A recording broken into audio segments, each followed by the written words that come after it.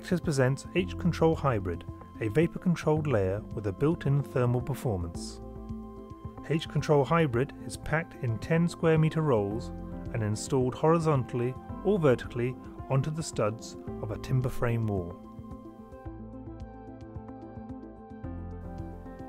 Install H-Control Hybrid across the face of the timber studs, flat and in a continuous layer.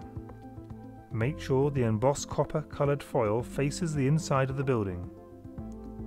Staple to the structure using 20mm galvanised staples, keeping insulation as taut as possible. The air gap between the Hybris and the H-Control Hybrid helps to maintain maximum thermal performance, thanks to the reflective foils. Fix adjacent layer, overlapping the product by 50 to 100 millimeters and stapling as before. Ensure all joints are sealed using Actis tape. Fix a 38 by 38 millimeter counter batten onto every stud.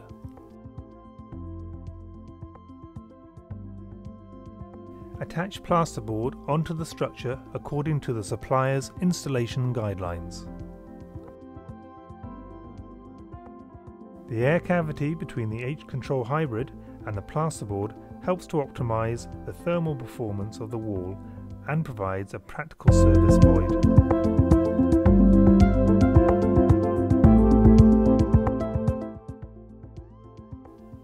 Fix H-Control Hybrid to the structure using 20mm galvanized staples. Cover approximately half the window and staple above and around the window perimeter accurately cut away the product around the window with an Actis cutter.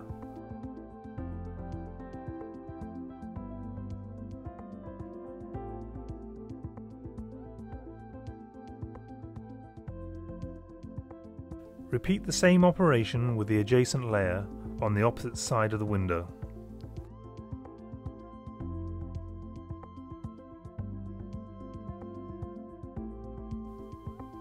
Once H-Control Hybrid is fixed, nail 38 by 38mm battens on either side of the window.